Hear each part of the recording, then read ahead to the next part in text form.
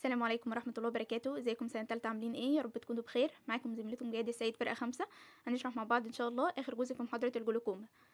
طبعا ما ننساش ندعي لزمايلنا. ربنا يرحمهم يا رب ويجعل مثواهم الجنة ونلحقهم في الجنة إن شاء الله.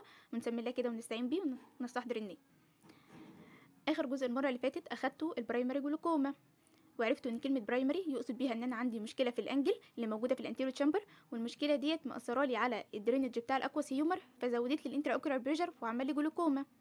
إحنا النهارده كلامنا عن ال secondary glaucoma وكلمة secondary أنا بقصد بيها إن أنا عندي مشكلة في أي structure موجود في العين والمشكلة ديت مأثرة لي على ال angle أو مأثرة لي على ال drainage بتاع ال aqueous humor فزودت لي برضو ال intraocular pressure وعمل لي جلوكوما. أي مشكلة بقى في أي structure يعني مثلا ال cornea ال iris ال lens ciliary body المهم إن أي structure موجود في العين حصل فيه مشكلة وأثر لي على الإيه؟ ال drainage بتاع ال aqueous humor أو أثر لي على ال angle فزود لي ال intraocular pressure وعمل لي جلوكوما. بس قبل ما نتكلم عن الأسباب بقى في نقطة عايزين نتكلم فيها. لما أجي أقسم الأسباب ديت المفروض إن أنا بقسمها هل هي closed angle glaucoma ولا open angle glaucoma بقسمها على أساس إيه؟ إحنا عارفين إن closed angle ديت يقصد بيها إن الزاوية ديت اتقفلت. اتقفلت يعني بقت إيه؟ بقت zero فاكرين في ال gonioscope قلنا إن أنا عندي الزاويه دي لو جيت قستها الاقيها zero ليه بقى؟ لأن أنا عندي ال iris راحت إيه؟ ناحية ال cornea ولمستها. فكان في iridocorneal إيه؟ contact يبقى دلوقتي لو أي سبب من الأسباب اللي أنا هقوله شوية كده كان في irido corneal contact يعني ال iris لمست ال cornea والزاوية دي أو ال angle دي بقت zero دي تعتبر إيه؟ تعتبر closed angle glaucoma تمام؟ طيب دي أول حاجة. طب تاني حاجة لو لقيت إن أنا عندي فيه هنا pupillary block دي برضو تعتبر closed angle glaucoma يبقى أي حاجة من الاتنين دول ده closed angle glaucoma طيب لو جيت مثلا قلت لكم إن أنا عندي في مشكلة في العين وليكن طلعت بروتينات. البروتين دوت راح سدد لي trabecular meshwork طيب دلوقتي دي تعتبر closed ولا open أي حد يقول لك بقى إيه سدت لي يبقى كده closed على طول. يبقى closed angle glaucoma غلط طبعا. أنا قلت كلمة closed حاجة من اتنين لا إما pupillary block هل هنا في pupillary block لا. طيب في هل في irido corneal contact يعني ال iris لمست ال cornea لدرجه إن الزاوية دي بقت zero لا ما قلتش كده. أنا قلت لكم إن ال trabecular meshwork هي اللي اتقفلت بس. يبقى ولا دي ولا دي يبقى دي تعتبر إيه؟ تعتبر open angle glaucoma تمام؟ دي نقطة اتفقنا عليها خلاص. يلا بقى نسمي الله كده. إحنا قلنا كلمة secondary glaucoma glaucoma يعني إيه كلمة جلوكوما يعني زيادة في ضغط العين اللي هي increase ال intraocular pressure و secondary يقصد بيها إن أنا بيحصل زيادة في ال intraocular pressure ده نتيجة local إيه؟ eye disease أي مشكلة في العين في أي structure موجود في العين يعني ومأثره لي على ال drainage بتاع ال aqueous humor وزي أي جلوكوما بقسمها لا إما closed لا إما open إيه؟ angle glaucoma المفروض لو أنتوا كنتوا قدامي وكده إن أنا هقضي المحاضرة دي أسئلة أصلا. أنا هسالكم وانتوا تجاوبوني لإن كل الكلام اللي إحنا هنقوله ده يعتبر أصلا أنتوا عارفينه كلام قديم بس إحنا برضو هنقوله تاني إيه كمراجعة. فانتوا حاولوا كده تسترجعوا معايا واعتبروها دردشة كده. إيه هي الأسباب اللي بتعملي secondary glaucoma بقى؟ بالترتيب كده أول structure هيقابلني في العين هو الايه ال cornea. إيه المشاكل اللي ممكن تحصل في ال cornea وتزود لي الضغط بتاع العين؟ أول حاجة إن يكون الشخص ده عنده corneal ulcer وإحنا عارفين إن ال ulcer ده بيبقى فيه toxin مش ال toxin ده ممكن يروح يعمل لي irritation لل iris فيعمل لي حاجة اسمها secondary إيه iritis وانتوا عارفين إن أي inflammation بيطلع exudate من ضمن ال exudate اللي هو بيطلع دوت البروتين. فعشان كده بنسمي البروتين بيبقى موجود في ال aqueous دلوقتي. فبنسميه إيه؟ بنسميه plasmoid aqueous لأن هو بيبقى فيه plasma protein تمام؟ طيب إحنا قلت لكم المرة اللي فاتت إن البروتين ده بيبقى high molecule الوزن الوزن بتاعه ذات نفسه كبير. فهو كده لوحده أصلا هيعلي لي ال intraocular pressure لأن هو high إيه؟ high molecular weight طب كمان البروتين دوت ممكن يروح يقفل لي trabecular meshwork ديت فإيه فكده قفل ال drainage خالص بتاع ال aqueous humor فزود لي ال intraocular pressure تمام؟ يبقى دي أول حاجة ال corneal ulcer. طب عايزين نحدد دلوقتي هل هي open angle ولا closed angle إحنا لسه قايلين حتى لو أنا سديت ال trabecular meshwork لسه الزاوية موجودة فدي تعتبر إيه؟ تعتبر open angle glaucoma تمام؟ يبقى دي أول سبب في ال cornea. طب تاني حاجة إن يكون الشخص ده عنده peripheral corneal perforation أخدته في ال cornea إن أنا لما يكون في عندي perforation على حسب بقى لو ال perforation ده كان صغير سمول فإيه اللي بيحصل؟ ساعتها ال iris دي بتتحرك ناحية ال cornea كده عشان تقفل ال perforation الصغير ده. طيب دلوقتي أنا قلت ال iris راحت ناحية ال cornea يعني حصل إيه؟ irido corneal contact فكده عمل لي إيه؟ قفل لي ال angle خالص وعمل لي جلوكوما. أنهي نوع بقى؟ إحنا قلنا قفلنا ال angle فكده عمل لي closed angle glaucoma. تمام؟ طيب ده لو هو small perforation طب لو كان large perforation بقى؟ قلنا لو كان large perforation ساعتها عرفتوا إن ممكن ال perforation ده ي heal ب scar أو ي heal بإيه؟ ب adhesion يعني في fibrosis وكده. فال adhesion ديت كنا بنسميها synechia كلمة synechia دي يعني adhesion تمام؟ اتكون adhesion في الجنب هنا كده زي ما أنتم شايفين الخطوط اللي هي الحبال دي. وسميناها anterior لأن هي موجودة هنا في ال anterior chamber تمام؟ طيب أنا عندي ال adhesion دوت هيعمل إيه؟ ال adhesion أو ال fibrosis ده هيشد لي ال iris برضو ناحية ال cornea. فساعتها برضو كده قفلنا الإيه؟ قفلنا ال angle فعمل لي برضو closed angle glaucoma يعني في كلتا الحالتين سواء كان small perforation أو large perforation أنا قفلت ال angle وعملت إيه؟ وعملت closed angle glaucoma ده في الإيه؟ ده في ال cornea. طيب نيجي بعد ال cornea في مين؟ في عندي ال anterior chamber pathology. قال إن أنا عندي ال anterior chamber normally أصلا ما بيبقاش فيها إحنا عارفين إن هي لازم تبقى إيه حاجة transparent كده شفافة مش معكره ولا أي حاجة عشان ما تأثرش على الرؤية. فهو بيقول لك إن هي فيها كمية صغيرة جدا جدا جدا جدا من البروتينات اللي هي low amount of ال protein حوالي 2 ل 10000 يعني نسبة لا تذكر يعني.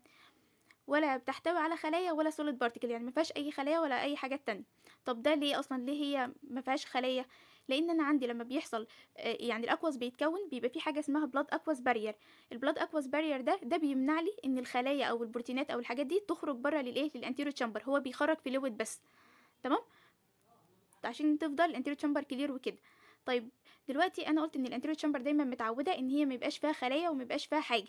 طب دلوقتي لو أنا جيت حطيت فيها خلايا الخلايا ديت وزنها كبير فهتزود لي الإيه؟ هتزود لي ال viscosity أو هتزود لي الوزن بتاع الإيه؟ ال aqueous ال aqueous humor ده. فعشان كده بيقولك ان أنا لو في أي abnormal content موجود في ال anterior chamber ده ده هيزود لي ال aqueous إيه؟ viscosity وكمان ممكن إن ال particle الموجودة دي تروح تقفل لي trabecular meshwork برضه ساعتها هتعمل لي نوع من أنواع الجلوكوما حتى لو اتقفلت trabecular meshwork قلنا ال angle لسه موجوده يبقى دي تعتبر open إيه؟ open angle glaucoma طيب إيه ال particle اللي ممكن تكون موجودة في ال anterior chamber بقى؟ أي حاجة تيجي على دماغك بقى. آه مثلا إن أنا عندي في pus وديت ال pus عارفين إن هي اسمها إيه؟ hypopyon أو إن أنا في عندي blood cell بنسميها إيه؟ آه اللي هو hyphema ديت. أو hyphema مش فاكرة النطق.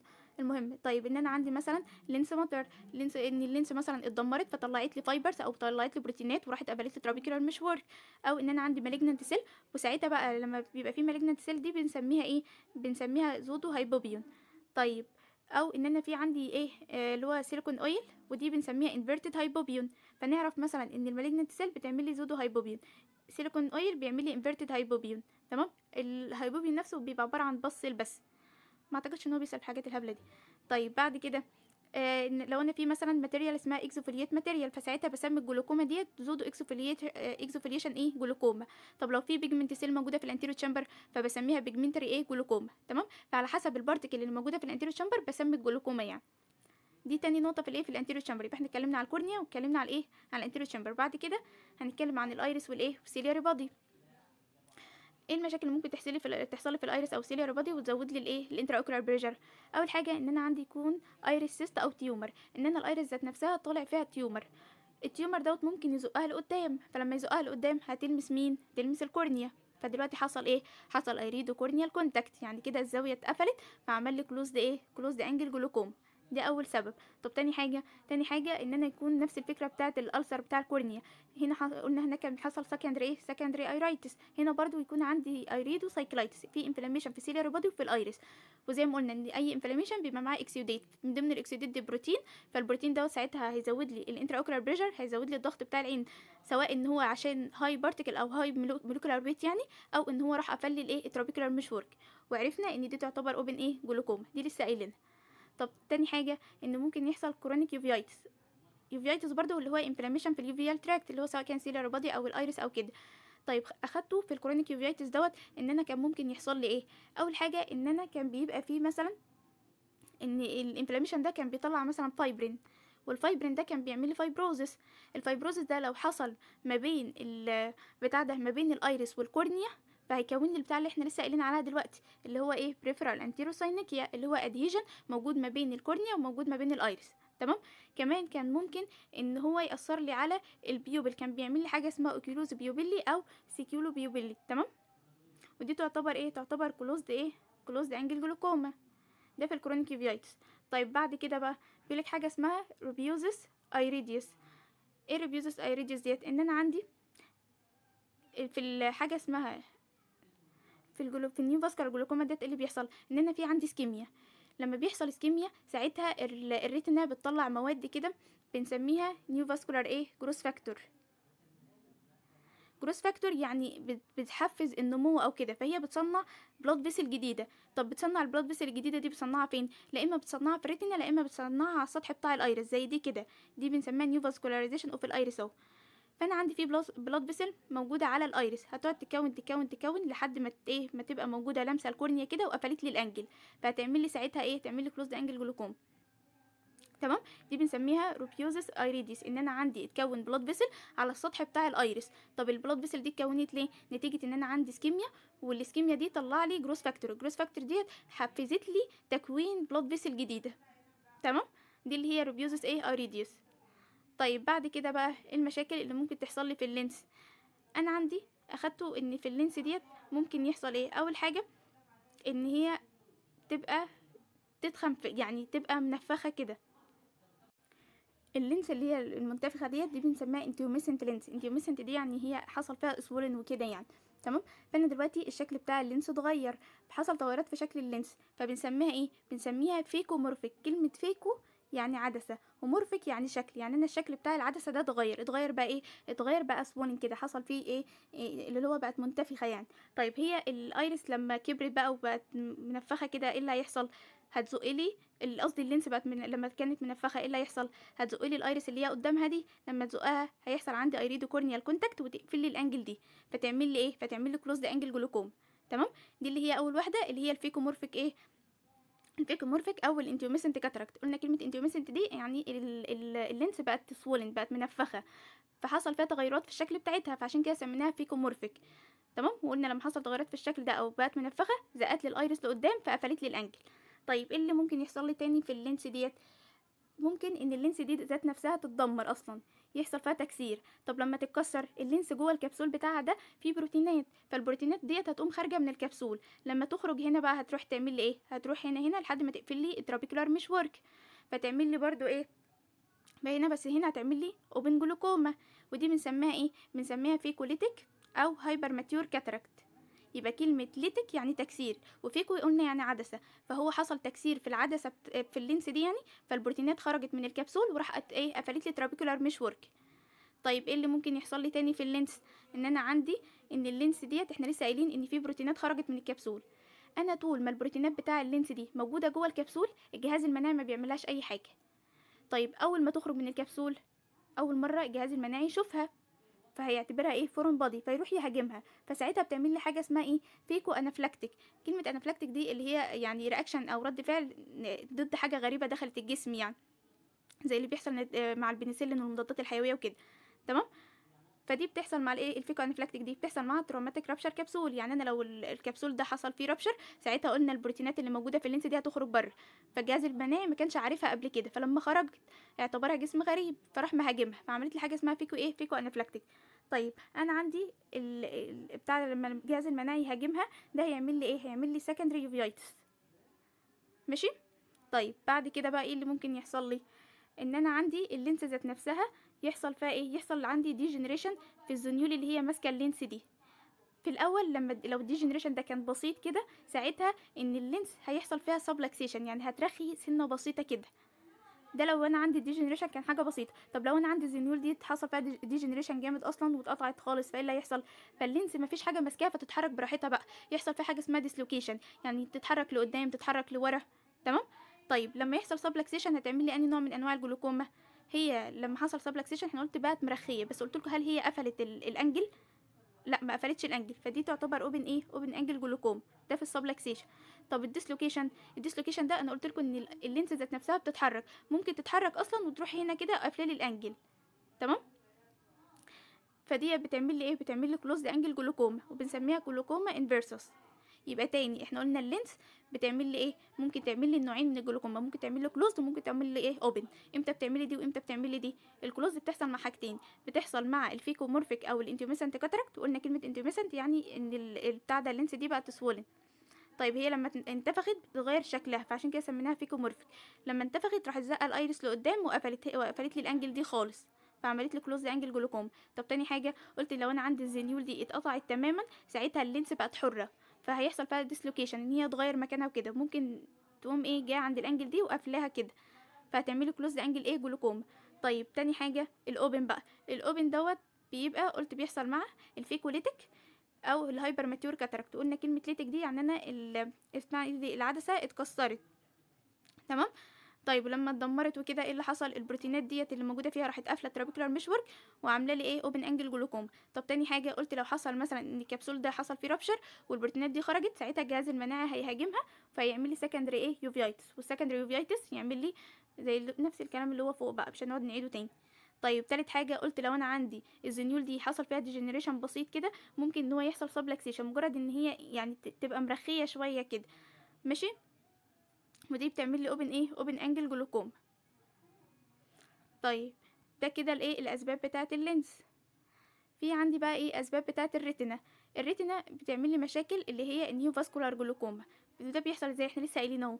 ال neovascular glaucoma دي قلت بتحصل مع ال ischemia إن أنا عندي ischemia فساعتها ال retina دي بتطلع لي مواد كده بنسميها إيه؟ بنسميها vascular endothelial growth factor ال VEGF وقلنا ال GF ديت يعني إيه؟ يعني growth factor يعني بتحفز نمو الحاجة فهي بتصنع لي blood vessel جديدة بتصنعها لي يا إما على السطح بتاع ال retina أو السطح بتاع ال iris تمام؟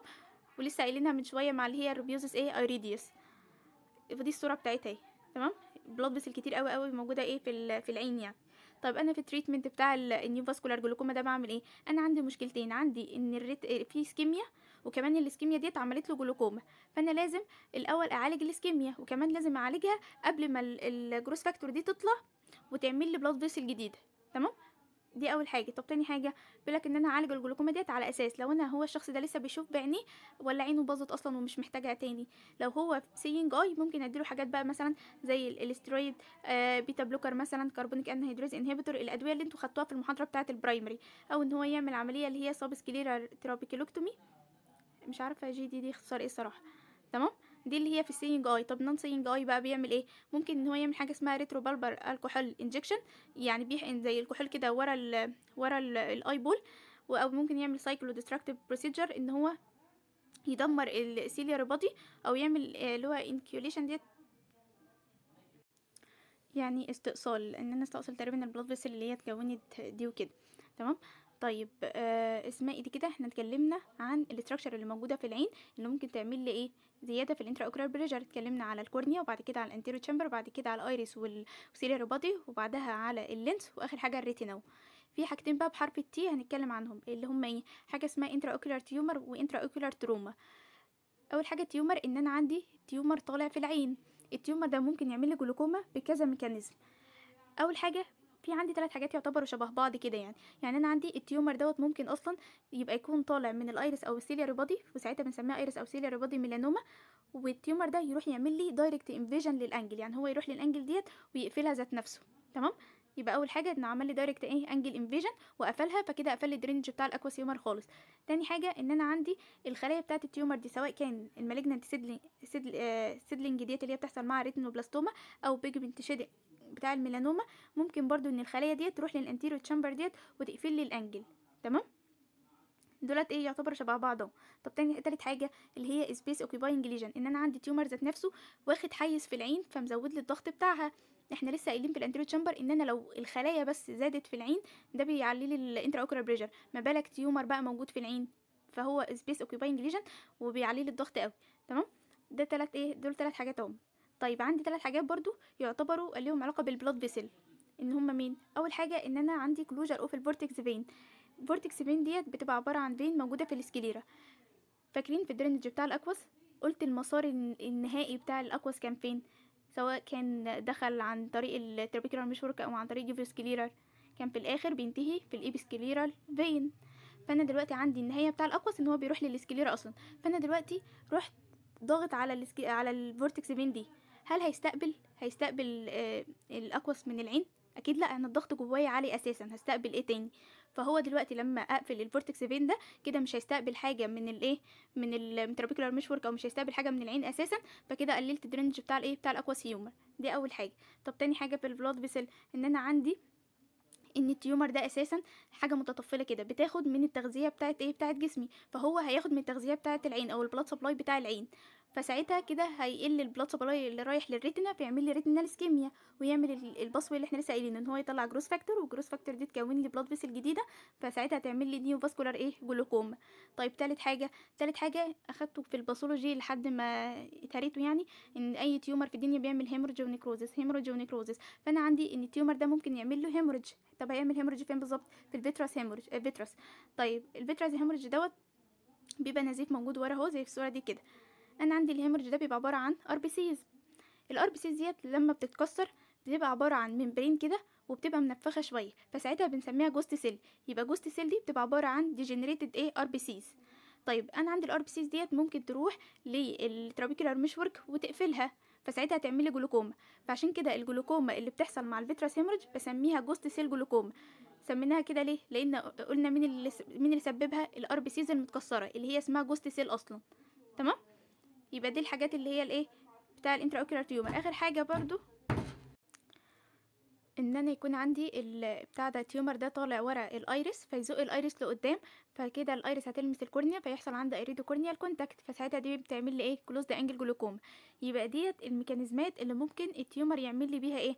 يعمل لي بيها جلوكوما قلنا إن أنا عندي ممكن يعمل لي direct invasion للبتاع ده لل angle نفسها أو إن هو يبقى space occupying lesion أو إن ال malignant cell ديت تروح رايحة لل anterior chamber angle وتقوم إيه؟ قافلاها لي. تالت تا- قلنا ثلاث حاجات ليهم علاقة بال blood vessel إن أنا ال vortex vein اللي موجودة في ال sclera دي اتقفلت فبالتالي هي ال pressure جواها عالي أساسا فمش هتستقبل أي حاجة من العين. فكده ال drainage بتاع ال aqueous إيه؟ هيقف. تاني حاجة إن أنا عندي ال tumor ده بياخد من ال blood supply بتاع العين فكده ال blood supply هيقل لل retina فتطلع لي growth factor تكون لي blood vessel جديدة فهتعمل لي neovascular إيه؟ جلوكوما تالت حاجة إن أنا ال tumor دوت بيحصل فيه hemorrhage و necrosis وكده وبيحصل hemorrhage في ال vitreous فبنسميها vitreous hemorrhage قلنا إن أنا عندي ال hemorrhage ده بيبقى عبارة عن RBCs متكسرة اسمها ghost cell. ال RBCs المتكسرة دي تروح رايحة لل trabecular meshwork وقافلاها لي فتعمل لي جلوكوما. فسمينا الجلوكوما ديت ghost cell إيه؟ جلوكوما. وقلنا إن أنا عندي ال tumor نفسه ممكن يبقى ورا ال iris فيزقها فتلمس ال cornea فتعمل لي إيه؟ closed angle glaucoma. ده اللي هو الإيه؟ ال T الأولانية اللي هي ال tumor.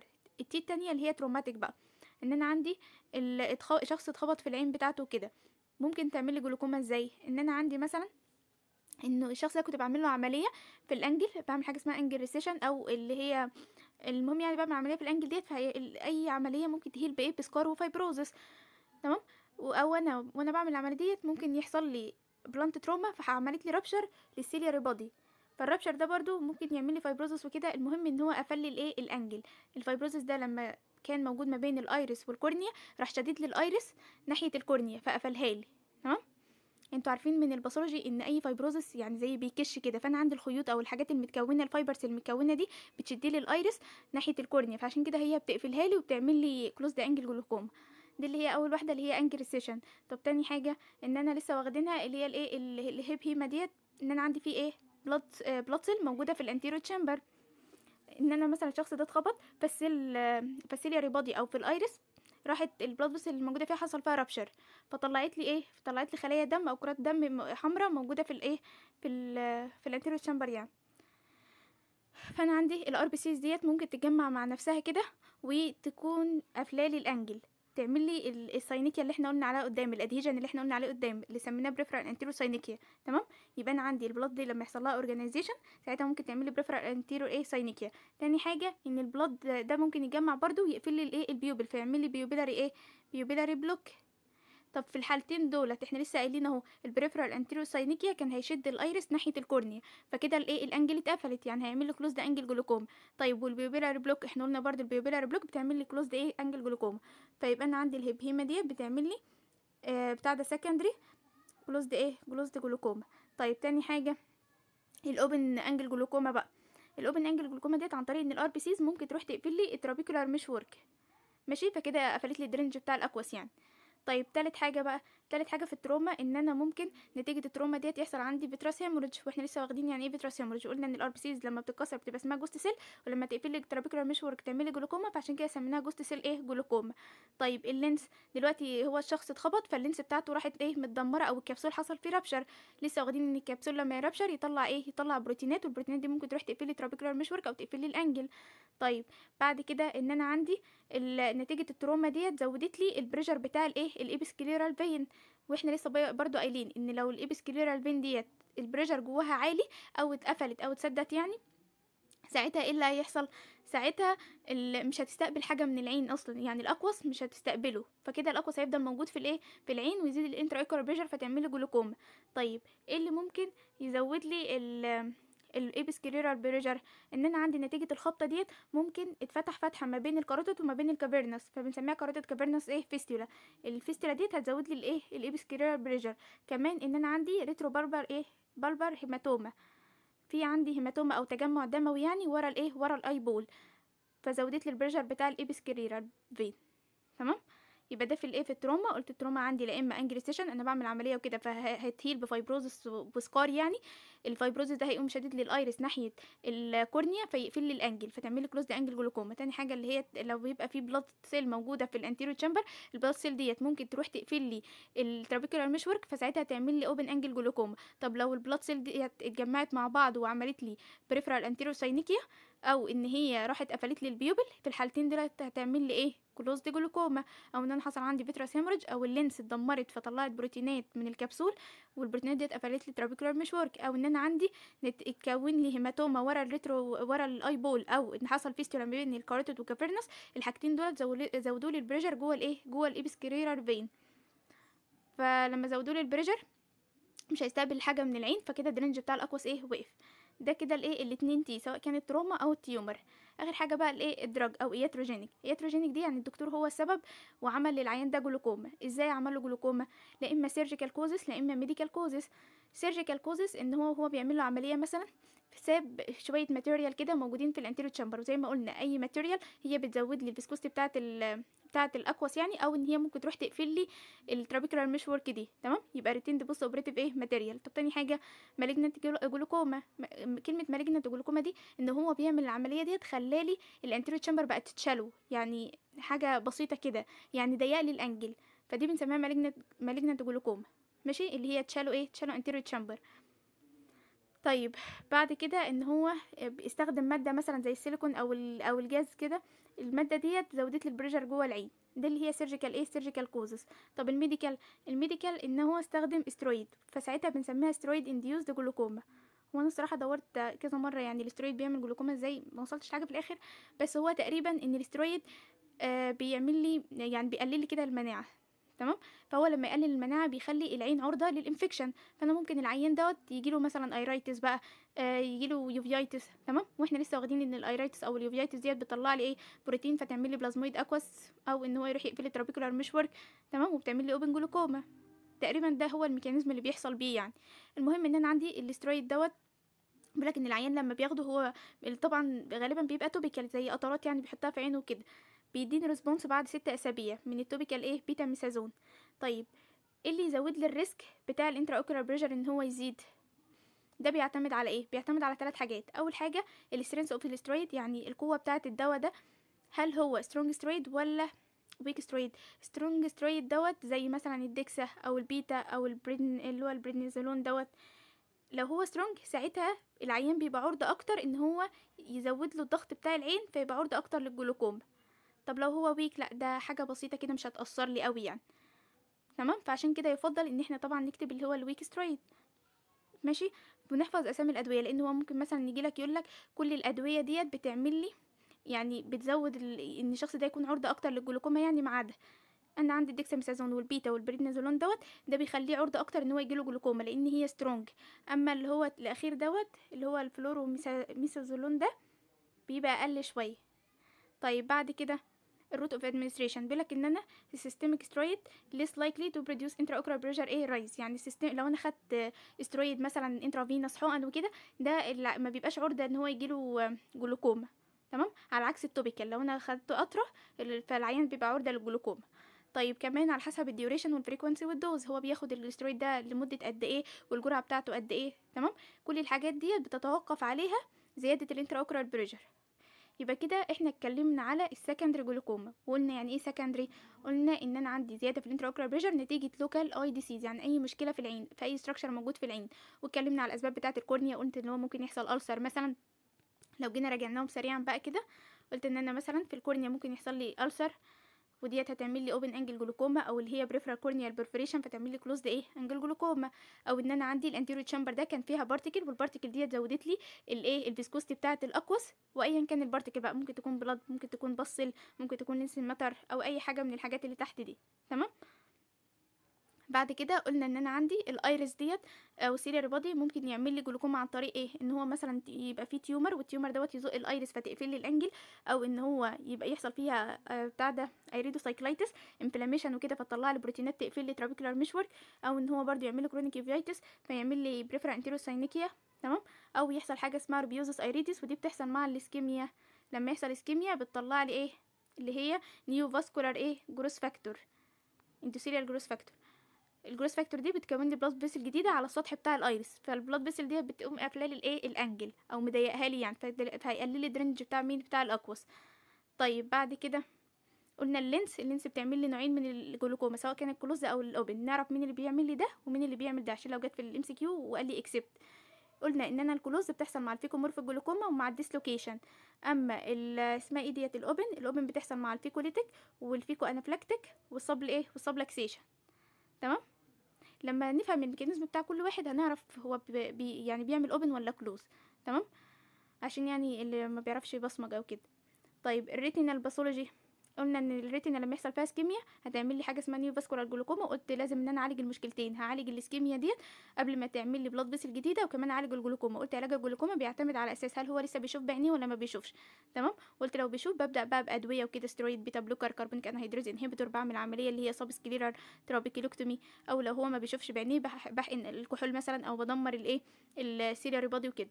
طيب قلنا ال tumor و trauma قلنا ال tumor بيعمل لي جلوكوما عن طريق كذا mechanism إن هو بيبقى space occupying lesion مثلا أو عمل invasion لل angle نفسها آه وقفلها لي أو إن هو ضغط لي على ال blood vessel بتاع ال sclera فما بقاش تستقبل حاجة من العين أو إن هو بياخد من الدم بتاع العين فبالتالي عمل لي ischemia في ال retina فعمل لي neovascular glaucoma أو إن هو حصل hemorrhage و necrosis وكده وال RBCs المكسرة ديت هي اللي راحت قفلت لي trabecular meshwork أو إن ال tumor ذات نفسه زق لي ال iris قدام فقفل الإيه؟ ال angle تمام؟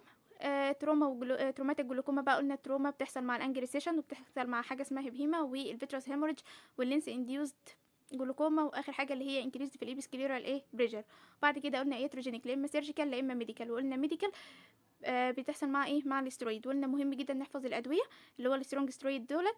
ثلاث أدوية دولت هما بيبقى عرضه أكتر إن يجيله إيه؟ يجيله زيادة في ال intraocular pressure فيجيله جلوكوما. وكمان على أساس ال route. لو جه قالك مين أكتر يعني systemic ولا local ال local هو اللي بيبقى عرضه أكتر إن يجيله إيه؟ جلوكوما. أما ال systemic لا. تمام؟ دي تجميع مثلا لل secondary closed angle glaucoma يعني الأسباب اللي هي موجودة في ال slideات اللي قدام دي.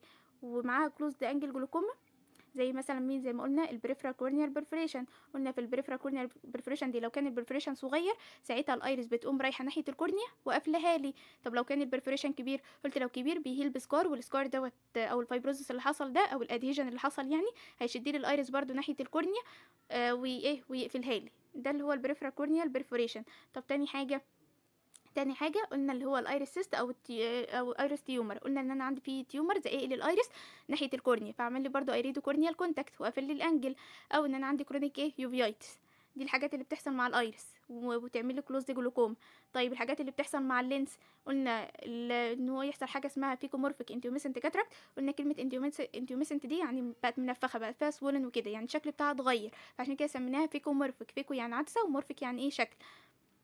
تمام؟ وقلنا إن هي لما بقت منفخة وكده زقت لي لقدام فراحت حصل iridocorneal contact وقفل لي ال angle وعمل لي close angle glaucoma.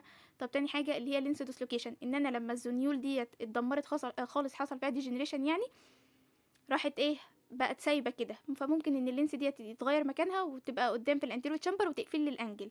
تمام؟ طيب كمان بقى بعد كده في ال tumor ال tumor ده قلنا إن هو لو زقلي ال iris لقدام ساعتها هيعمل لي closed angle إيه؟ جلوكوما.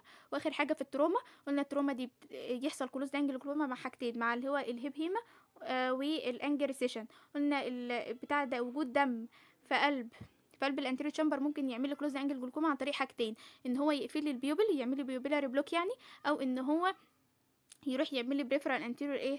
synechiae تمام؟ مهم نعرف ال mechanisms ات لأن زي ما هناخد دلوقتي في السؤالين دولت هو بيسأل فيهم. زي مثلا بيقولك إيه secondary glaucoma due to iridocyclitis may be due to ال secondary إيه يعني الجلوكوما اللي بتحصل نتيجة ال iridocyclitis دي بتحصل بسبب إيه أصلا.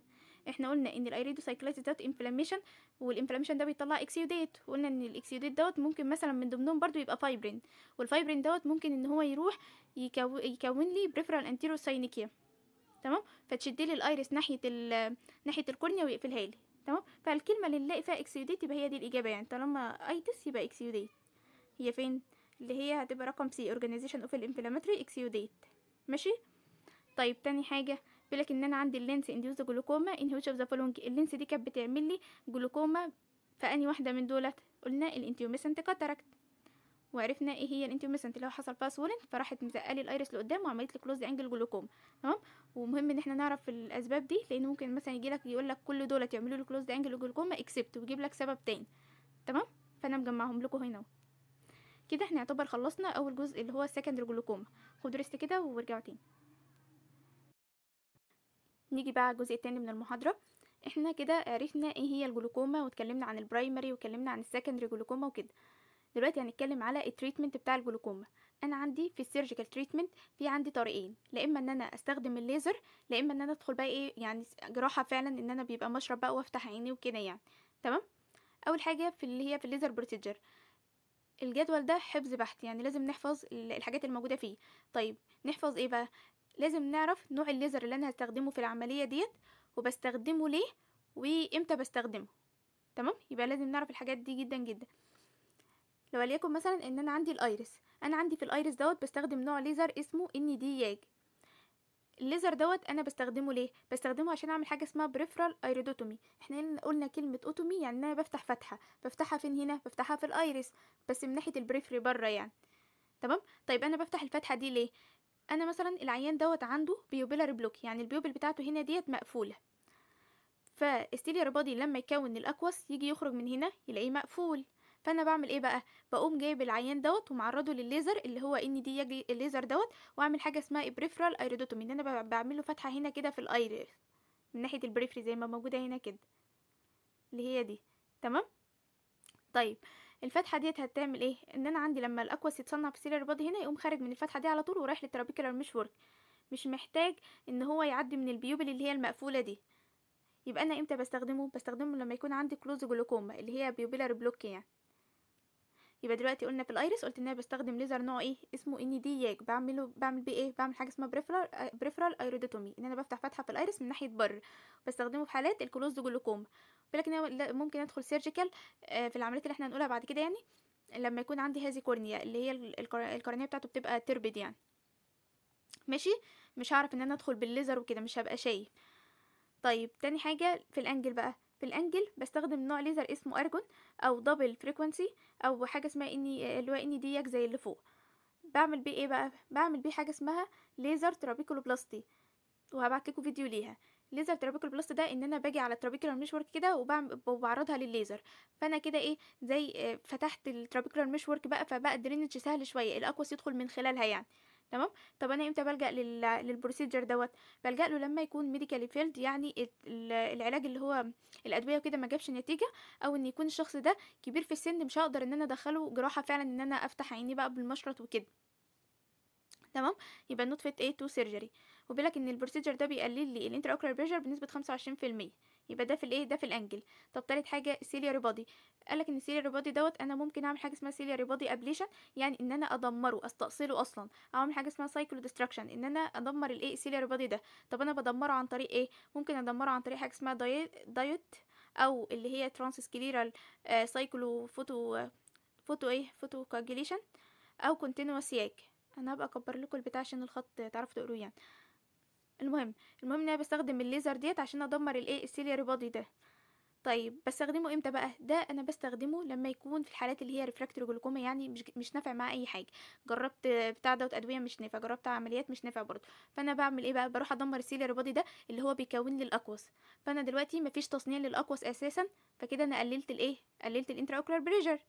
تمام يبقى ده في. بستخدمه في حالات ال refractory glaucoma أو اللي هي ال neovascular glaucoma أو في ال traumatic أو اللي هي العملية بتاع ال subscleral trabeculectomy اللي إحنا هنتكلم عليها شوية كده فشلت يبقى دلوقتي قلنا ال ciliary body ده أنا بلجأ له كآخر حل بقى خلاص أنا مش نافع معايا أي حاجة العملية فشلت أو إن هو كان traumatic أو neovascular أو اللي هي refractory يعني مش نافع معاها أي medical ولا نافع معاها أي حاجة خالص فأنا بروح أدمر له ال ciliary body بقى كده أنا مفيش تصنيع لل aqueous humor أصلا.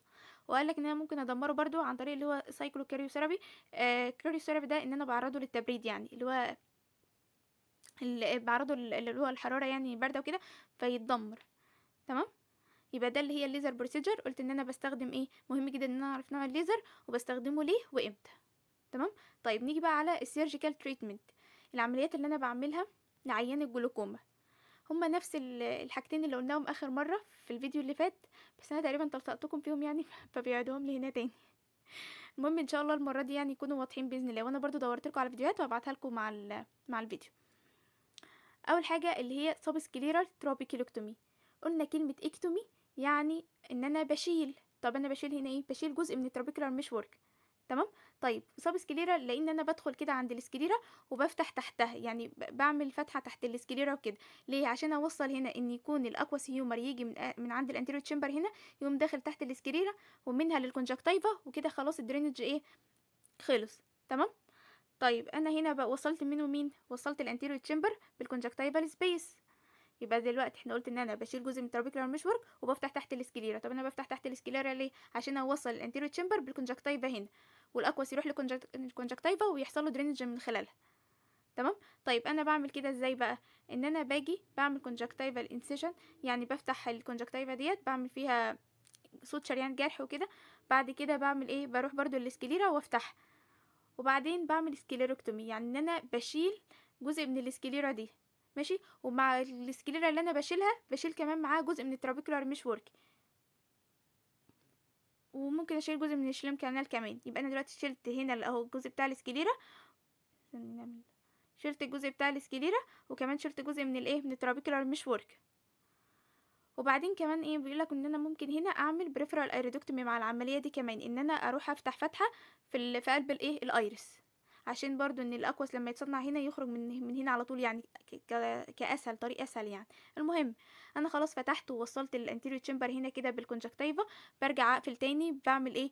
آه اللي هو بخلي ال conjunctiva بقفلها من بره بقى. ال suture اللي أنا فتحته بره ده بقفله. تمام؟ يبقى تاني دلوقتي. أنا بعت لكم فيديو برضو الفيديو هيبقى أوضح من الكلام اللي أنا بقوله. قلت إن أنا بفتح جرح في قلب ال conjunctiva وبعد كده بدخل بقوم جاي بقى إيه شايل جزء من ال sclera بعمل sclerectomy ماشي؟ وبعد كده بشيل معاه كمان جزء من ال Schlemm canal واشيل معاه جزء من ال trabecular meshwork ويبقى أنا كده وصلت ال anterior chamber بال conjunctiva خلاص. خلاص أنا وصلتهم ببعض الجرح اللي أنا فتحته بره ده بقفله بقى. ماشي؟ طيب بيقول لك وأنا بعمل العملية ديت بدي حاجة اسمها انتي ميتابولايت ام ام سي ام ام سي دي اختصار اللي هي mitomycin mitomycin C ماشي؟ mitomycin C دوت اللي هو antifibrotic drug بيقلل ال fibrosis يعني وكده ان البتاع دوت هنا ما يحصلش fibrosis وكده فتتقفل تاني. فإيه لازمة العملية اللي أنا عملتها بقى؟ ماشي؟ دي ال step بتاعة الايه العملية. طب بعد كده ال indication ال indication بقى أول حاجة أنا بلجأ للعملية ديت لما اللي هو العيان يكون poor compliance with medical treatment يعني هو أصلا ما بيلتزمش بالعلاج اللي أنا مديهوله فأنا هعمل له عملية بقى وأريح دماغي أو إن هو poor control primary open angle glaucoma with medical or laser إيه laser therapy. يعني أنا عملت له ليزر قبل كده أو اديته medical treatment وبرده ما جابش نتيجة. أو إن هو يكون advanced primary open angle glaucoma ومعاه إيه ال intraocular pressure بتاعه كان قليل. فأنا بلجأ ساعتها للعملية دي. يبقى مهم نعرف ال indication قلت لو هو عنده primary open angle glaucoma مش نافع معاها medical treatment ولا ليزر أو إن هو بي ما بياخدش العلاج بتاعه أصلا أو إن هو عنده ال primary open angle glaucoma دي كانت يعني وصل لمرحلة متأخرة جدا وبقى معاها إيه؟ low intraocular pressure طيب إيه هي ال complication بتاعه العملية دي بقى؟ أنا عندي دلوقتي إحنا قلنا إن ال drainage بيروح رايح ناحية فين؟ ناحية ال conjunctiva هنا كده. فأنا عندي تحت ال conjunctiva ديت ممكن يكون لي حاجة اسمها bleb اللي هي زي زي فقاعة كده. bleb دي يعني فقاعة يعني. أنا المفروض إن ال aqueous اللي موجود هنا ده ده بيحصل له بعد كده بيمتص وبيحصل له absorption يعني. طيب مثلا ولنفرض إن هو فضل موجود فيه ففضلت الفقاعة دي موجودة. مش ممكن أي stagnation يعني fluid موجود هنا يجيله infection فيعمل لي inflammation فبنسميها blebitis blebitis ديت اللي هي inflammation حصل في قلب الإيه؟ في قلب الفقاعة اللي هي موجودة تحت ال conjunctiva دي. أو إن ال inflammation ده ممكن يتنقل ويروح للايه للعين فيعمل لي endophthalmitis يبقى دي أول حاجة infection طيب ال treatment بتاعها بقى إن أنا بديله antibiotic زي الفانكومايسين أو اللي هو ال ceftazidime دوت أو إن أنا أعمل حاجة اسمها vitrectomy تمام؟ طيب تاني حاجة إن أنا ممكن العيان ده يدخل إن يبقى عنده high intraocular pressure إن الضغط بتاع عينيه يزيد. طب إزاي أنا بعمل عملية عشان الضغط بتاع عينيه يقل؟ ف... فيقوم زايد. ده بيحصل مع إيه بقى؟ إن أنا عندي إن ال- ال bleb ديت حصل فيها إيه؟ حصل فيها fibrosis. مش إحنا لسه قايلين إن أنا كنت بدي دواء عشان نمنع ال fibrosis؟ لا أنا هنا مثلا ما اديتش اللي هي ال mitomycin C ده. فحصل عندي هنا fibrosis في ال bleb دي. فكده أصلا ده اتقفل خلاص. فيجي ال aqueous يحصل له drainage مفيش مش هيروح فين. فيفضل بقى يعلى هنا هنا لحد ما يزود ال intraocular pressure تاني. تمام؟ يبقى ديت اللي هي failed bleb حصل عندي subconjunctival إيه؟ fibrosis. وديت بيبقى معاها deep إيه anterior chamber طيب في عيانين تانيين بيبقى معاهم حاجة اسمها malignant glaucoma وإحنا لسه قايلين malignant glaucoma ديت إن أنا عندي shallow anterior chamber يعني ال anterior chamber دي كانت shallow كده ال angle ضيقة يعني أو إن أنا عندي pupillary block حصل هنا ال- ال pupil اتقفلت فكده ال drainage بتاع ال aqueous هي إيه؟ هيقل فكده ال intraocular pressure هيزيد. طيب بعد كده إن أنا عندي ممكن المشكلة الثالثه إن الضغط بتاع عينيه يقل بس يقل قوي يبقى معاه low intraocular إيه؟ pressure دي بتحصل مع حالات إيه؟ بتحصل لو أنا عندي البتاع ده وأنا بعمل العملية ديت حصل choroidal detachment إن ال choroid راح آه، اتشال من مكانه. فإيه اللي هيحصل؟ ساعتها ال- ال fluid اللي هو موجود ال aqueous دوت هيحصل له escape ويروح خارج من تحت ال choroid تمام؟ فأنا دلوقتي كده ال aqueous الموجود في عينيا عمال يهرب من تحت ال choroid ويحصل له absorption وكده فقل قوي قوي قوي لدرجة إن هو عامل لي حاجة اسمها hypotony اللي هنتكلم عنه في آخر المحاضرة اللي هو نقص في ال intraocular pressure تمام؟ طيب وهوريكم صورة ساعتها هتفهموها يعني. طيب بعد كده بقى إن أنا عندي ممكن يكون ال bleb اللي إحنا قلناها ديت الفقاعة اللي موجودة تحت ال conjunctiva ديت حصل فيها leakage يعني بتسرب. فهي بتسرب لبرة حصل عندي over filtration due to إيه bleb leakage فهي عمالة تخرج ال aqueous لبرة خرجت كمية كبيرة قوي قوي لدرجة إن هي قللت لي ال intraocular إيه pressure ودي بيبقى معاها positive Seidel test ده خدتوه في ال cornea لما كنتوا بتشوفوا ال cornea فيها perforation ولا لأ. فهو نفس ال test ده بتشوف إن ال conjunctiva هل فيها آه فيها فيها ثقب مثلا والثقب ده عمال يخرج يخرج ال aqueous لبرة من برة العين. تمام؟ فهي بيبقى معاها positive إيه Seidel test يبقى هي ديت ال complication بتاعت الايه ال subscleral trabeculectomy يبقى دلوقتي إحنا قلنا العملية الأولانية بتاعتنا حاجة اسمها subscleral trabeculectomy قلنا كلمة ectomy إن أنا بشيل بشيل إيه؟ بشيل جزء من ال trabecular meshwork وكمان جزء من ال sclera وكمان بفتح تحت ال sclera عشان أوصل ال anterior chamber هنا بال conjunctiva ماشي؟ وممكن وأنا بعمل العملية ديت أعمل iridotomy يعني أنا أفتح فتحة في ال iris هنا كده عشان إيه؟ أسهل ال drainage أكتر وأكتر يعني. قلت إن أنا بعملها إزاي؟ قلت إن أنا باجي هنا بعمل جرح في قلب ال conjunctiva وبعد كده بروح شايل جزء من ال sclera بعمل sclerectomy ومعاها إيه؟ أشيل جزء برده من ال trabecular meshwork قلت إن أنا ممكن أعمل peripheral iridotomy هنا. وفي الآخر خالص خلاص أنا وصلت كده ال anterior chamber بال conjunctiva خلاص هقوم بقى قافل ال suture الجرح اللي أنا كنت عامله من بره ده. ماشي وقلت إن أنا إمتى بلجأ لها لو هو عنده primary open angle glaucoma مش نافع معاها medical treatment وكده ولا ليزر أو إن هو ما بيلتزمش بالعلاج أصلا أو إن هو كانت حالة إيه advanced وقلت إن ال complication إن هو هنا. تحت ال conjunctiva دي. ممكن يتجمع ال aqueous ويعمل لي فقاعة كده بنسميها bleb فالفقاعة دي ممكن يحصل فيها inflammation فبنسميها blebitis وممكن تنقل ال inflammation ده للعين فتعمل لي endophthalmitis تاني حاجة إن هي ال bleb دي ممكن يحصل فيها fibrosis وكده وال fibrosis ده هيقفل لي ال drainage خالص فيزود لي ال intraocular pressure أو إن أنا عندي يحصل هنا pupillary block فيزود لي برضو ال intraocular pressure آخر حاجة إن أنا ممكن وأنا بعمل العملية ديت أعمل choroidal detachment فساعتها ال aqueous هيهرب تحت ال choroid فلما يهرب تحت ال choroid كده هيقل ال aqueous من العين فيقلل لي ال intraocular pressure وآخر حاجة خالص إن أنا عندي إيه؟ إن ال bleb ديت فيها فتحة كده تمام؟ فعمالة تسرب بقى عمالة تخرج ال aqueous اللي موجود هنا ده لبرة العين تماما. خرجت كمية كبيرة جدا لدرجة إن هي قللت ال intraocular pressure قلت لو أنا جيت عملت له Seidel test ده هلاقيه إيه؟ positive تمام؟ طيب دي العملية الأولى. التانية بقى التانية إن أنا بعمل حاجة اسمها non penetrating glaucoma أو deep sclerectomy دي بعملها إزاي؟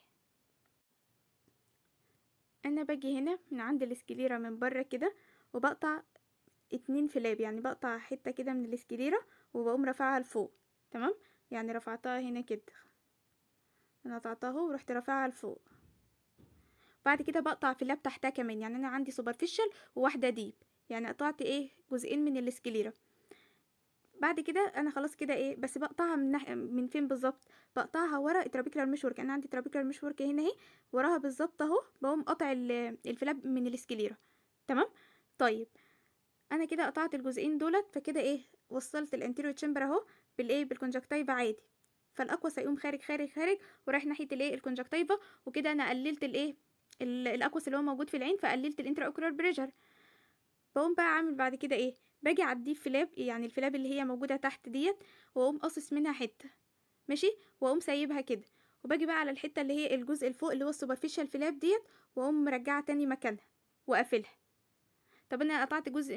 قطعت جزء من ال deep flap ليه؟ عشان الجزء ده هو اللي هيخرج منه ال aqueous يقوم رايح لل conjunctiva ماشي؟ يبقى فتحة يعني موجودة تحت ال تحت ال sclera هنا توصل ما بين ال anterior chamber بالايه بال conjunctiva طيب أنا إيه الفرق ما بين العملية ديت وما بين ال- العملية الأولانية اللي هي subscleral trabeculectomy أنا هنا شلت جزء من ال trabecular meshwork لا هنا ما شلتش. فيبقى هنا trabecular meshwork بتبقى preserved يعني بحافظ عليها. لأن أنا بفتح أو بشيل ال sclera وراه على طول يعني من من وراها هنا ما جيتش ناحيتها أصلا. تمام؟ كمان إن أنا إيه ما دخلتش برضو من ال anterior chamber دي ما دخلتهاش ولا عملت iridotomy ولا عملت أي حاجة. فمعنى كده إن أنا ما جيتش ناحية الايه ال anterior chamber يبقى ديت اللي هي الإيه؟ ال deep sclerectomy قلت إن أنا بعمل إيه بقى؟ أو بنسميها non-penetrating glaucoma surgery قلت إن أنا هنا في العملية ديت بقطع two lamellar two lamellar scleral flap يعني أنا باجي بقطع جزئين كده من ال sclera جزء superficial وجزء deep قلت إن أنا بقطعهم منين؟ بقطعهم ورا بالظبط ورا ال trabecular meshwork يعني أنا ما باجيش ناحية ال trabecular meshwork خالص. قلت إن أنا الجزء اللي هو ال deep دوت بقطع منه جزء كمان. ماشي؟ وأسيب منه جزء عادي. طيب وخلاص كده حصل drainage إن أنا عندي ال aqueous دوت راح رايح من ال anterior chamber راح لل conjunctival space وكده أنا قللت ال intraocular إيه pressure وخلاص. طيب قلت الفرق ما بينها وما بين التانية إن أنا هنا ما جيتش ناحية الايه trabecular meshwork يبقى trabecular meshwork is preserved حافظت عليها. وكمان ما دخلتش ال anterior chamber عشان أعمل iridotomy أو كده ما جيتش ناحيتها برضو. ماشي؟ طيب بيقولك بقى إن أنا هنا العملية دي برضو مفيدة إن هي هتقلل لي حدوث ال post-operative filtration with hypotony يعني هتقلل إن ممكن يقل الضغط قوي قوي يعني لدرجة إن هو يعمل لي hypotony تمام؟ يبقى ديت الايه الفرق ما بين اللي هي ال deep sclerectomy وما بين ال subscleral trabeculectomy ماشي. طيب بعد كده اللي هي glaucoma drainage device قلنا المرة اللي فاتت إن أنا بركب جهاز كده. بركبه فين بقى؟ بركبه في الايه subconjunctival space تحت ال conjunctiva هنا كده بركب الجهاز ده والجهاز ده بيبقى متوصل زي بتاع هنا كده بتقوم إيه موجودة في ال anterior chamber أول ما الضغط جوه العين يعلى يقوم هو شافط ال- ال aqueous humor ده ومصرفه هو بطريقته. ده بنسميه أحمد إيه؟ أحمد valve تمام؟ يبقى قلنا إن هو بيبقى عبارة عن shunt اللي هي ال shunt دي بتبقى موجودة فين؟ بتوصل ما بين ال anterior chamber وما بين ال subconjunctival space وعن طريق إن أنا بحط plastic implant كده في المكان ده يعني. ده بنسميه أحمد إيه؟ أحمد valve طب إمتى بستخدمه؟ بستخدمه في ال refractory glaucoma وفي حالات بقى اللي هي recurrent أو ال aphakic أو اللي هي ال neovascular أو ال inflammatory وال congenital يبقى كده إحنا اتكلمنا على ال treatment بتاع الإيه بتاع الجلوكوما قلت إن أنا عندي لا إما ليزر لا إما surgical قلت المهم جدا إن أنا أعرف نوع الليزر. قلت الليزر الأولاني اللي هو في حالات ال iris بستخدم Nd YAG. وقلت إن أنا بستخدمه في الإيه في الجلوكوما اللي هي ال closed glaucoma. ماشي؟ وقلت إن أنا بعمل بيه فتحة في ال iris هنا عشان إيه لو أنا عندي ال pupil هنا مقفولة فأنا بسهل خروج ال aqueous من هنا على طول يروح للإيه لل trabecular meshwork يعني. طب تاني حاجة في ال angle ال angle بستخدم angle فأنا بستخدم ارجون إيه وحرف الايه يعني. المهم بعمل حاجة اسمها laser trabeculo إيه plasty ودي بستخدمها لو العلاج فشل أو إن هو مش إيه مش هينفع أدخله عمليات. طيب لو العيان ده بقى مش نافع معاه أي حاجة أو إن هو neovascular glaucoma أو traumatic أو العملية فشلت فساعتها بعمل ال ciliary body ده بدمره خالص بدمره عن طريق ال- اللي هي ال continuous YAG ديت أو إن أنا بعمل trans-scleral إيه اللي هو cyclophotocoagulation تمام؟ أو cryotherapy. طيب قلت العمليتين قلت إن أنا عندي حاجة اسمها subscleral trabeculectomy قلت إن أنا هنا بوصل إيه بوصل ما بين ال anterior chamber وما بين ال conjunctiva طب بوصل ما بينهم إزاي؟ يعني عن طريق إن أنا باجي من ناحية ال conjunctiva كده أفتح فتحة بعد كده بدخل أشيل جزء من ال sclera وأشيل جزء من ال trabecular meshwork وكمان ممكن أعمل إن أنا أفتح فتحة في ال iris هنا تمام؟ وبعد كده بقفل الايه بقفل الجرح اللي أنا عملته يعني تمام؟ فأنا كده يبقى وصلت ال aqueous داخل من هنا لتحت ال sclera وبعد كده يروح لل conjunctiva على طول. ماشي؟ وقلت إن أنا بلجأ لها لما يكون عندي primary open angle glaucoma وفي حالات ال advanced أو في الحالات اللي هو مش نافع معاه medical treatment وكده أو إن هو ما بيلتزمش بالعلاج أصلا. قلت إن أنا عندي هنا لو ال drainage فضل موجود تحت ال conjunctiva هيعمل حاجة اسمها bleb زي فقاعة كده. والفقاعة دي ممكن يجي لها infection فتعمل لي blebitis أو endophthalmitis قلت إن هو ممكن يزود لي ال intraocular pressure عن طريق إن يحصل فيها fibrosis أو كده أو يحصل فيها pupillary block هنا أو إن هو يقلل لي ال intraocular pressure لو هو حصل فيها leakage يعني لو فيها فيها ثقب هنا كده فيخرج لي ال fluid كتير قوي بره العين. فهيقلل لي ال intraocular pressure إيه بتاع العين وكده. طيب ده اللي هو الايه ال complication بتاعتنا. طب العملية التانية قلت إن أنا بعمل حاجة اسمها deep sclerectomy إن أنا الفرق ما بينها وما بين دي إن أنا هنا ما جيتش ناحية ال anterior chamber وكمان ال trabecular meshwork حافظت عليها. أنا بش بروح أشيل اتنين flap من ال sclera بشيل الجزء اللي هو ال- اللي فوق بسميه superficial واللي تحت بسميه deep والجزء ال deep ده برجع تاني أشيل حتة منه. ماشي؟ وبعد كده ال- ال aqueous بقى هيتنقل من تحت ال sclera ده يروح لل conjunctiva وخلاص وبرجع أقفل تاني. في الفيديو الفيديو هيوضح لكم الحتة دي قوي يعني إن شاء الله. طيب بعد كده الجلوكوما بقى قلت إن أنا بركب جهاز كده في العين تحت ال conjunctiva وده بيوصل ال anterior chamber بال conjunctival space وال aqueous بيمشي يروح يروح لل conjunctiva يعني ويحصل له drainage من خلالها. دي كده العمليات بتاعة الجلوكوما. والله يعني أنا حاولت على قد ما أقدر إن أنا أوصلها لكم. عايزة أقول لكم إن أنا جيت أفتح ال- الكتاب بتاعي لقيت إن أنا والله العظيم حرفيا مش حاطة سن القلم في الصفحة بتاع العمليات دي. تقريبا عندي عقدة من زمان يعني. فهي إن شاء الله تكون وصلت يعني. في الفيديوهات اللي أنا بعتها وأنتوا برضو دوروا على فيديوهات توضح لكم أكتر وكده. نيجي بقى على آخر جزء عندنا في المحاضرة اللي هو اسمه hypotony. إحنا عمالين نتكلم من أول المحاضرة من أول الفيديوهات أصلا عن الجلوكوما اللي هي ارتفاع في ضغط العين. دلوقتي هنتكلم على عكس المرض ده بقى اللي هو ال hypotony يعني الضغط بتاع العين ده قليل. يبقى decrease في ال intraocular pressure طب هيقل عن كام؟ إحنا قلنا normally كان 16 فهو لما يقل عن 10 ده بنسميه hypotony يبقى ال hypotony ده إن أنا عندي decrease في ال intraocular pressure وبيبقى بيوصل لحد أقل من إيه؟ أقل من 10 تمام؟ طيب أنا عشان أسهل الحفظ قسمته لكم لحاجتين يعني الأسباب لسببين. إن أنا لا إما عندي leakage لا إما عندي نقص في ال formation leakage ده يعني إيه؟ يعني أنا عندي العين بتسرب ال aqueous humor براها يعني بتخرج ال aqueous humor فبالتالي كده الضغط جواها هيقل. إيه الحاجات اللي بيبقى معاها leakage بقى؟ أول حاجة إن هو postoperative بعد العملية زي ما زي ما إحنا لسه واخدين دلوقتي في ال subscleral trabeculectomy قلت لو أنا عندي ال bleb دي كانت فيها فتحه الفتحه ديت هتخرج لي إيه؟ هتخرج لي ال aqueous humor منها لبره العين خالص. طيب لما هي تخرج كمية كبيرة من ال aqueous مش كده الضغط جوه العين هيقل؟ فيعمل لي إيه؟ فيعمل لي hypotony يبقى ال postoperative ديت بتحصل مع الايه مع ال leaky wound سواء كان في حالات ال cataract أو في اللي هي في ال subscleral إيه؟ trabeculectomy surgery زي بتاع ال bleb اللي إحنا لسه قايلينها دلوقتي من شوية. طيب تاني حاجة إن أنا عندي disrupted outer coat. إن أنا ال- بتاع ده ال- الغطا بتاع العين من بره أصلا حصل فيه disruption. اللي هو مثلا rupture globe العين فرقعت أصلا فخرجت ال aqueous اللي جواها خالص فكده الضغط جواها إيه؟ جواها قل. طب تاني حاجة إن هو عنده perforated corneal ulcer. إن هو عنده perforation يعني ثقب في قلب ال cornea ومن خلال الثقب ده ال aqueous عمال يخرج. فهو عمال يخرج فالضغط جوه العين عمال يقل. فتعمل لي hypotony طيب تالت حاجة بقى إن أنا عندي retinal detachment. retinal detachment ديت إن أنا ال retina سابت من مكانها. أنا عندي في الصورة ديت ادي ال retina اهيت ماشي وتحتها ال choroid أنا لما يحصل عندي retinal detachment ساعتها ال fluid اللي هو ال aqueous ده بيقوم رايح ناحية ال choroid ويحصل له drainage من خلاله. فكمية كبيرة من ال aqueous تروح لل choroid ويحصل لها drainage فده هيعمل لي إيه؟ هيقلل لي ال intraocular pressure أو هيقلل لي الإيه؟ هيقلل لي الضغط بتاع العين يعني وتعمل لي hypotony يبقى دي كده الأسباب اللي هي إيه بيبقى معاها leakage leakage ده يعني هو بيسرب ال intra بيسرب ال aqueous humor ده لبره العين فكده بيقل كميته جواها فالضغط جوه العين بي إيه بيقل. قلنا معانا ثلاث أسباب. طيب تاني حاجة تاني حاجة اللي هو نقص في ال formation نقص في التصنيع بتاع ال- aqueous humor نفسه.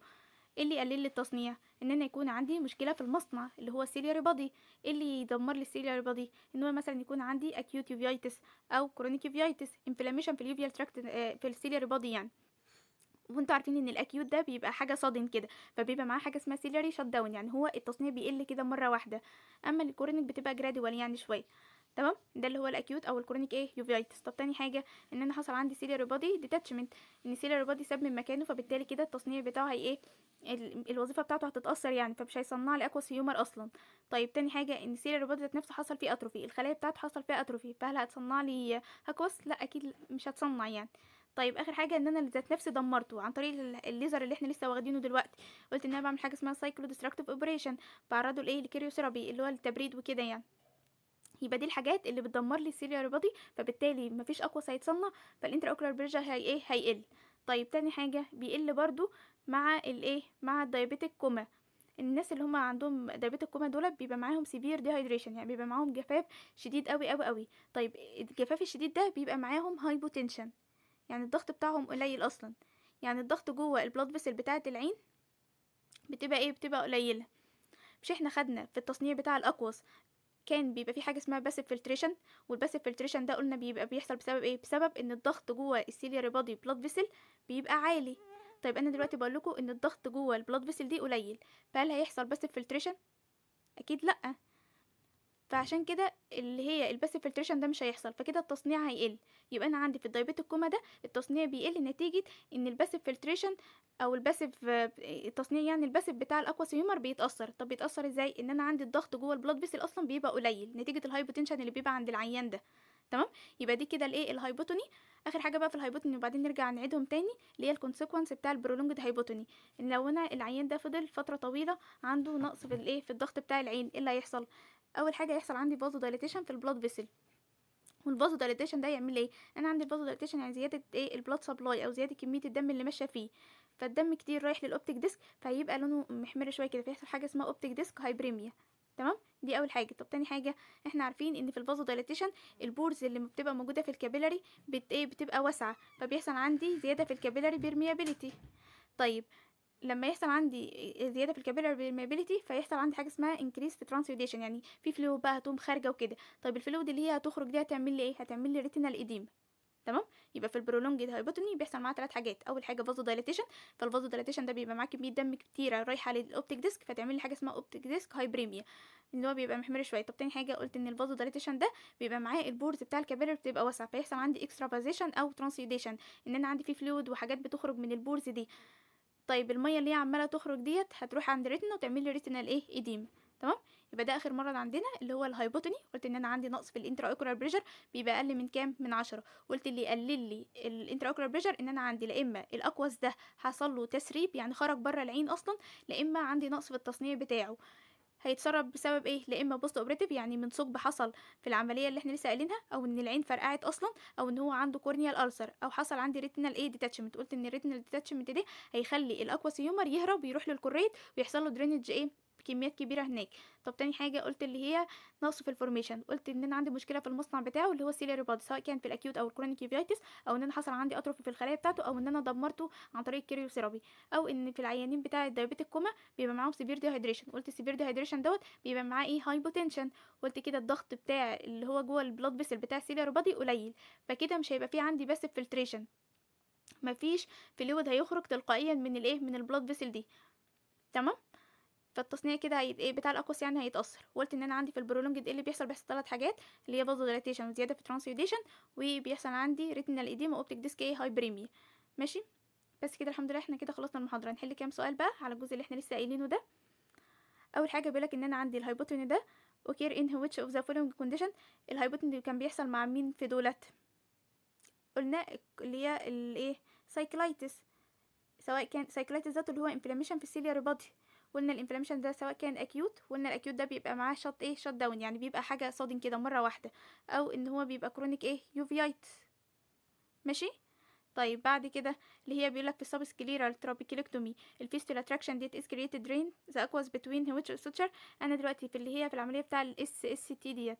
أنا بعمل فتحة أو بوصل ما بين مين ومين. قلت إن أنا بوصل ال anterior chamber بوصلها بالإيه بال subconjunctival space أني واحدة في دول اهي اللي هي دي ال anterior chamber بال subconjunctival إيه space طيب بعد كده بيقولك إن أنا عندي ال cause بتاع ال hypotony ديت بتبقى انهي سبب من دولت. أول حاجة هي rupture globe إن أنا عندي العين فرقعت أصلا فال aqueous خرج من جواها فقلل الايه ال pressure طيب بيقولك which of the following laser treatment can be used in case of primary angle closure glaucoma أني واحد من دولت أنا بستخدمه في ال closure glaucoma أنا قلت في ال iris كنت بستخدم نوع من ال من اسمها إيه دي من الليزر اسمه Nd:YAG قلت إن أنا بستخدمه ليه؟ عشان أعمل peripheral iridectomy قلت ليه؟ عشان أنا عندي مثلا وليكن pupillary آه pupillary block فأنا هقوم فاتحة فتحه في الإيه؟ في ال iris يخرج منها ال aqueous على طول ناحية ال trabecular meshwork اللي الاختيار هيبقى B اللي هو YAG إيه؟ laser peripheral iridotomy طيب بعد كده treatment بتاع ال treatment of choice of other اي ان angle closure glaucoma اني واحد من دولت بستخدمهم في الايه في ال closure glaucoma نفس اللي إحنا لسه قايلينه. closure glaucoma أنا بستخدم الليزر بستخدم إيه؟ YAG laser وبعمل بيه iridotomy ان أنا بفتح فيها فتحة في الايه في ال iris بس كده الحمد لله يعني. أتمنى إن يكون الموضوع يعني بسيط وعذرا لو في أي حاجة أنا وضحتها بشكل مش كويس يعني. بالتوفيق يا رب.